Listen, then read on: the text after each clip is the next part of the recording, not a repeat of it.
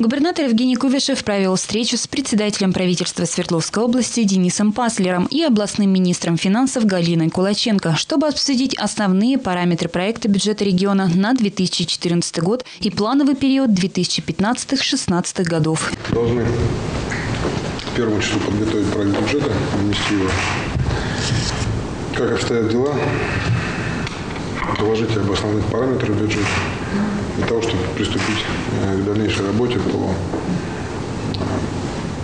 реализации. Проект бюджета Свердловской области на 14-16 годы формируется в соответствии с бюджетным посланием губернатора. Галина Кулаченко доложила главе региона, что в проекте документа предусмотрена реализация главных требований, предъявляемых к бюджетной политике Свердловской области. Системная поддержка экономического роста, повышение эффективности бюджетных расходов, укрепление конкурентоспособности промышленности региона, выполнение социальных обязательств в рамках реализации майских указов президента Российской Федерации. Прогнозные доходы консолидированного бюджета составляют 212,5 миллиардов рублей. Доходы областной казны по прогнозу при этом составят 165,8 миллиардов рублей. Прогноз собственных доходов бюджетов муниципальных образований – 46,7 миллиардов рублей. Кроме того, из областного бюджета местным бюджетом предусматриваются межбюджетные трансферы в сумме 13,8 миллиардов рублей. Это практически двойное увеличение по сравнению с текущим годом.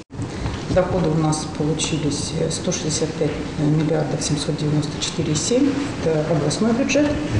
А расходы 190 миллионов 307.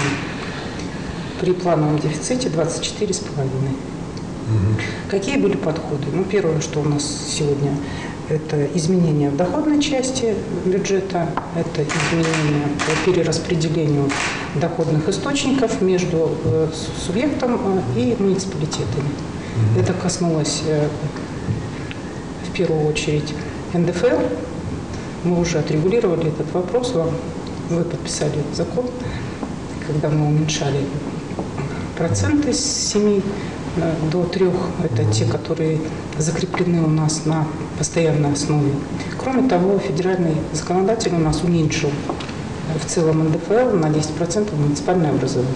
Но вот э, э, эти изменения в том числе идут правительстве подчеркивают, что при формировании бюджета сохранена его социальная направленность. Так учтены расходы на повышение заработной платы по указам президента Российской Федерации работникам бюджетной сферы в размере 10 миллиардов рублей. Еще 25,6 миллиарда рублей составят выплаты социальной направленности. 1 миллиард рублей направят на обеспечение жильем детей-сирот. Также предусмотрены средства на реконструкцию детских садов и создание дополнительных мест в детских садах в размере 4 миллиарда рублей. Около 300 миллионов рублей направят бюджет на строительство более 30 доступных и малобюджетных спортивных объектов. Проект бюджета сформирован с применением программно-целевого метода планирования. Более 90% объема бюджетных расходов против 20% в предыдущем периоде нашли свое отражение в 28 государственных программах министерств и ведомств Свердловской области.